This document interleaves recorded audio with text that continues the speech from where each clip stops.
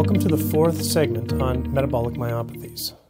To this point, we have covered errors in the breakdown of carbohydrate and fats to generate acetyl-CoA.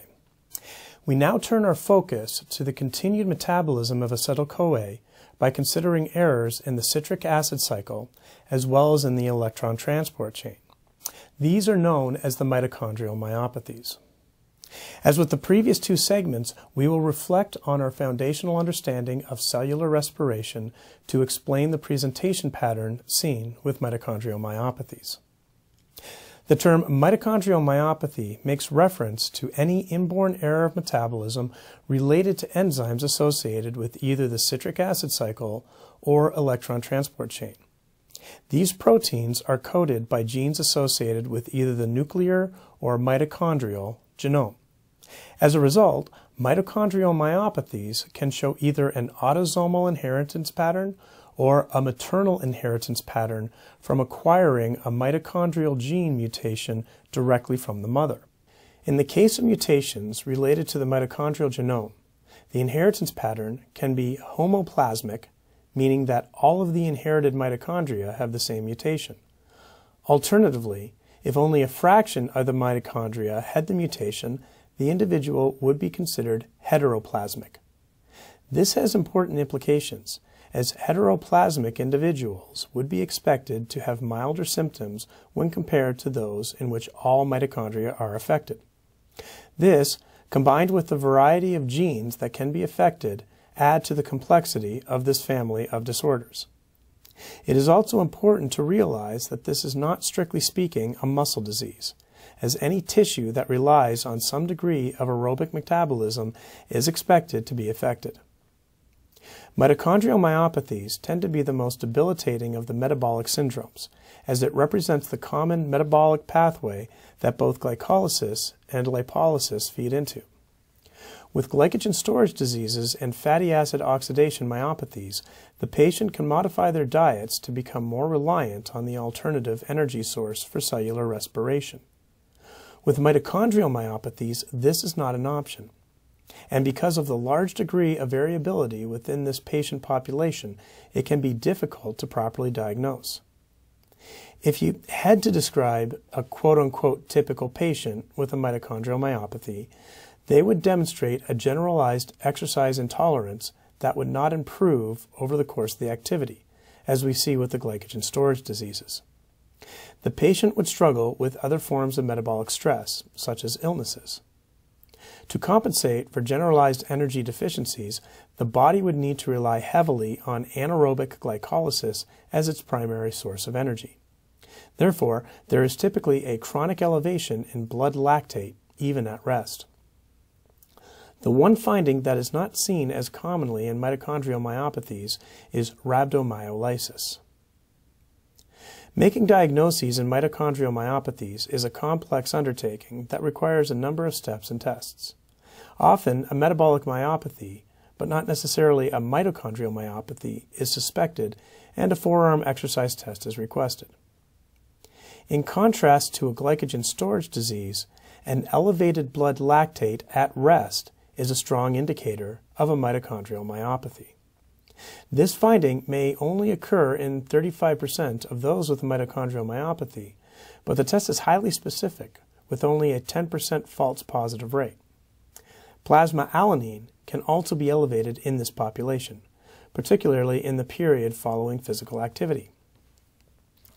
Once a mitochondrial myopathy is suspected, the forearm exercise test can be performed or repeated with analysis of venous blood gases. This increases the complexity of the test and is not generally performed unless a mitochondrial myopathy is suspected. Under normal circumstances, the forearm exercise test will cause a transient increase in the rate of oxygen consumption through the electron transport chain and in carbon dioxide production through the citric acid cycle. This results in a predictable decrease in oxygen and increase in carbon dioxide in the blood collected from the active muscle beds. These findings are attenuated with mitochondrial myopathies and a strong indicator for the presence of this disease. A progressive exercise test might also be ordered in the early phases of diagnosis, but has very low specificity as sedentary individuals typically also have low values of oxygen consumption. The next step is typically a histological analysis of a muscle biopsy. The most characteristic finding is the presence of a so-called ragged red fiber with Gomori trichrome staining, which is the result of mitochondrial aggregates just deep to the sarcolemma. Special analysis of the tissue with electron microscopy may help to identify misshapen mitochondria. These aggregates provide a rich source of mitochondrial DNA that can be analyzed for genetic mutations known to cause mitochondrial myopathies. As with the other metabolic myopathies, there are no cures for mitochondrial myopathies, and treatment options are limited. Creatine supplementation may assist with activities requiring a quick burst of energy. Other supplements may also assist with specific myopathies. In the case of mutations within complex 1 of the electron transport chain, boosting endogenous levels of succinate and riboflavin may help to shuttle electrons directly into complex 2. Similarly, supplementation with cytochrome Q10 may boost the body's ability to bypass mutations to complex 2. MERRF syndrome is a term used to identify a collection of mutations within the mitochondrial genome that produce a similar presentation pattern. The name was coined from an acronym used to describe the findings of myoclonic epilepsy and ragged red fibers commonly associated with this condition. Symptoms may begin at any age, with the first finding typically being myoclonus or involuntary muscle jerks. Other less consistent findings related to the effects on both muscle and the nervous system include seizures, loss of coordinated body movements, and myopathy. In later stages, the patient may also develop peripheral neuropathies, muscle spasticity, deafness, and optic atrophy. A second family of related conditions also gets its name from the clinical presentation pattern. MELAS syndrome is characterized by mitochondrial encephalopathy, lactic acidosis, and stroke-like episodes. Again, mutations associated with this condition are typically associated with the mitochondrial genome and include the gene coding for complex 1 of the electron transport chain, but the presentation is distinct from that for MERRF syndrome. Symptoms generally manifest sometime in childhood and may include muscle pain, weakness, and seizures. Patients with MELAS typically experience stroke-like episodes prior to the age of 40. The exact incidence of MELAS in MERRF in the general population is unclear, but collectively, the mitochondrial myopathies are thought to affect 1 in 4 to 5,000 individuals. That concludes our discussion of the metabolic myopathies.